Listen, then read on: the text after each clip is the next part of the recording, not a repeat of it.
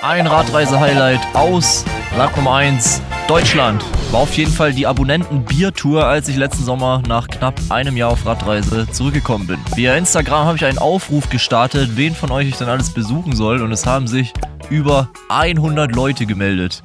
Einfach nur geisteskrank. Leider konnte ich nicht jeden von euch treffen, aber es war dennoch sehr, sehr schön, ein paar von euch zumindest kennenlernen zu können und endlich mal zu erfahren, wer denn so alles hinter diesen Kommentaren steckt.